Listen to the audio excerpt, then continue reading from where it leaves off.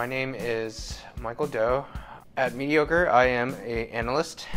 Um, I do, what do I do? My job is to look at products and study the market on them and really try to figure out what each product is all about, what it, um, why it exists pretty much, and also figure out what the pricing is. My job is really to help advise the purchasing and sales team and give them as much information as possible so that they can better perform their jobs and hopefully um, get better deals for all our customers.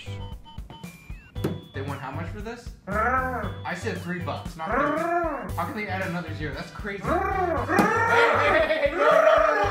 I came on really early on. I don't think we even hit 10 employees yet, and I had come in, the building was dark. Um, at least there were a lot of windows, all the blinds were down, um, the hallways were dark.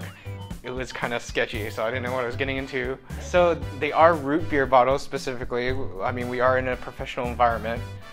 During lunch, I wanted to try this new place out in downtown Carrollton.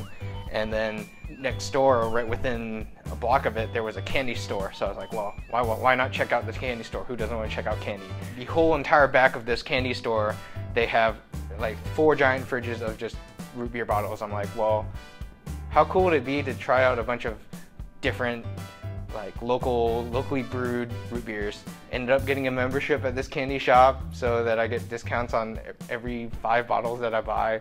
I think I have like 20 bottles sitting sitting on my desk. I mean, my desk was getting kind of bland, so I figure why not decorate it with beer bottles, uh, root beer bottles.